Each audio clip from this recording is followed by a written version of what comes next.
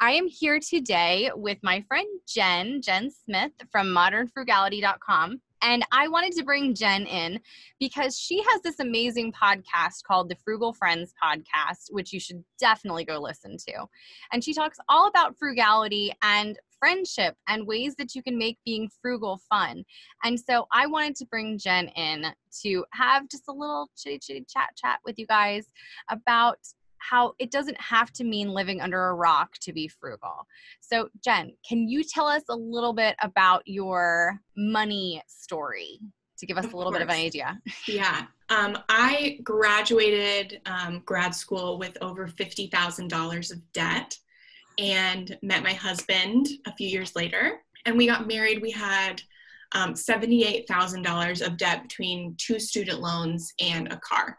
And I was making maybe like $35,000 a year, and he was unemployed. And I was not interested in paying off our debt. I was 25 years old, and I did not want to live under a rock for the rest of my 20s just to pay off this debt that I thought could never be paid off.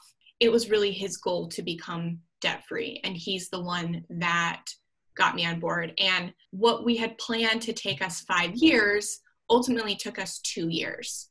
Um, Wow. yeah, with with those starting incomes. And since then, so we've been debt free now for three years, besides our mortgage. I have realized there's so many people like me who love to spend money socially and want to have fun, want to live a life, have self care, but also want to reach big financial goals. And so, my sole purpose in life, besides you know raising my son and being a good wife, is helping other people reframe their concept of frugality so that they can do amazing things with their money in the future, but without sacrificing what that means in the present.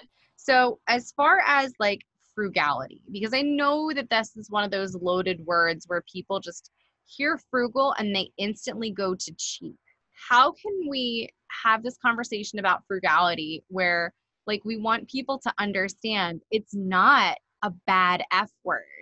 We're not talking about something that means that you have to sell everything and live in a cardboard box under a bridge. Like, that's not what we're talking about. Like, what is something that if you could like just get everybody onto the frugal bus what would you say to everybody Yeah, it it really is because it gets this bad rap and I think when I was growing up my family was always living paycheck to paycheck. We that didn't mean we were responsible with our money or clipping coupons either. That just means we we spent it all like intentionally on crap. My hobbies growing up were shopping and shopping. That's kind of I grew up thinking we have no money, but then Yeah. also having no responsibility with saying no to myself. yeah.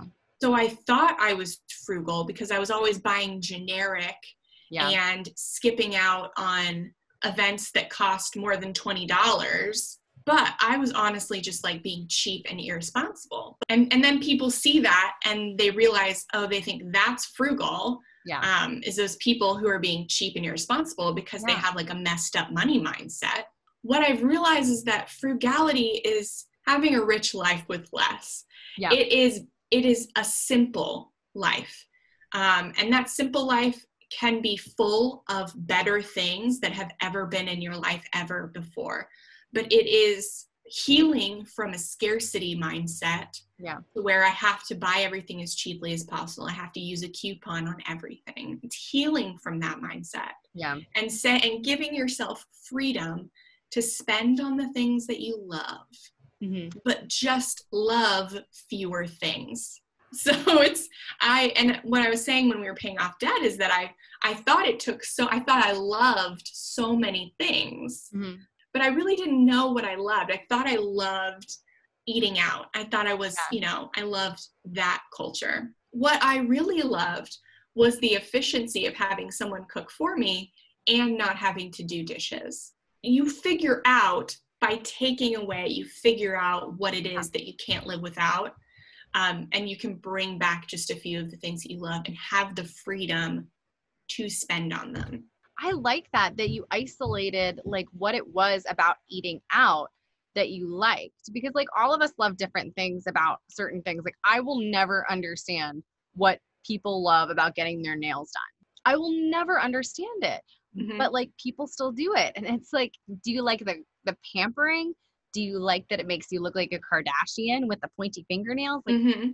everybody has a different thing Jen, thank you so much for coming and talking. And where can people find you? Do you have any last words about how awesome frugality is and how there's enough room on the frugal train for everybody? Choo-choo. There is. Yeah, frugal, not cheap. So you can find me at modernfrugality.com um, or on Frugal Friends podcast, wherever you listen to podcasts. Um, and if you sign up for any of my opt ins, I have um, I have a list of ways that I find things for free at modernfrugality.com slash free. That's probably that's one of my favorite ones. And then also modernfrugality.com slash checklist is kind of my budget checklist. It's some things that I do every single month in order to make it easier to stay on budget. If you opt into any of those, you'll get a discount on my financial freedom planner. That's awesome. Thanks so much, Jen. And we'll talk yeah. to you later. Bye. Thanks for having me.